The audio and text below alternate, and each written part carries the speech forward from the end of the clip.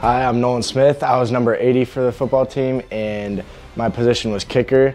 My plans after high school are I plan to attend college, hopefully either U of M or Ohio State, and go into the medical field of some sorts.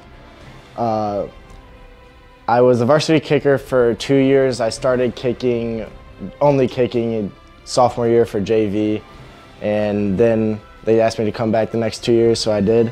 My favorite memory from this year would probably be making my first field goal in our first game against Wyandotte. That was pretty cool and not something that all high school level kickers get to do. So it was a very cool experience.